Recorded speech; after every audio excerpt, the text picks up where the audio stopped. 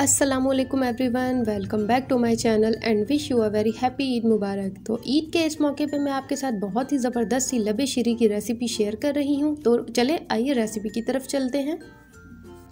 लबे शीरी बनाने के लिए यहाँ पे एक tin mix fruit cocktail tin लिया है, इसको छान लिया है। अब यहाँ पे मैं एक टेन कंडेंस मिल्क ले रही हूँ। एक पैकेट यहाँ पे वेपिंग क्रीम लेंगे, इसको मैं अच्छे से विप कर लूँगी। रेड एंड ग्रीन जेली भी लेंगे, रंगीन सवैयाँ लेंगे, इनको बॉईल कर लेंगे। चॉकलेट चिप लेंगे वाइट चमचम भी लेंगे। कस्टर्ड यहाँ पे यूज़ करेंगे, सेब और केला लेंगे। अब यहाँ पे एक पैन में दूध शामिल करेंगे। दूध बॉयल होने के बाद मैं इसमें एक टेन कंडेंस मिल्क ऐड कर दूँगी और अब इसको विस्कर की हेल्प से अच्छे से मिक्स करेंगे।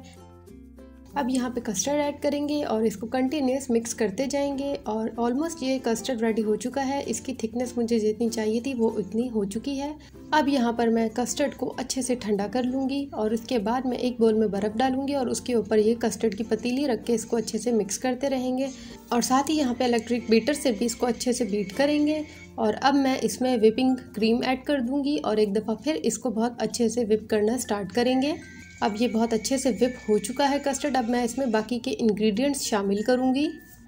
सबसे पहले इसमें सेब और केला शामिल करेंगे और फिर इसको मिक्स कर लेंगे। इसके साथ ही यहाँ पे रंगीन सवैयाँ भी डालेंगे। अब यहाँ पे मैं मिक्स फ्रूट कॉकटेल टेन भी डाल रही हूँ। चॉकलेट चिप्स भी इसमें ऐड कर देंगे और लास्ट में इसमें वाइट चमचम ऐड करेंगे और इनको हल्के हाथों से अच्छे से मिक्स कर लेंगे।